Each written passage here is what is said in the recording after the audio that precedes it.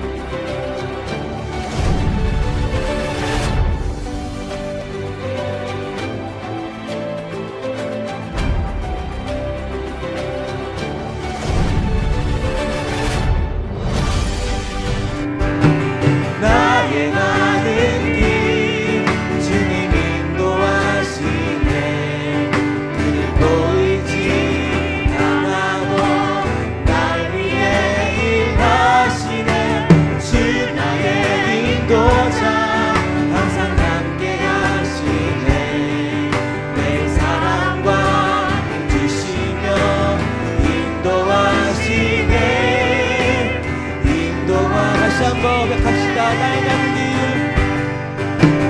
나의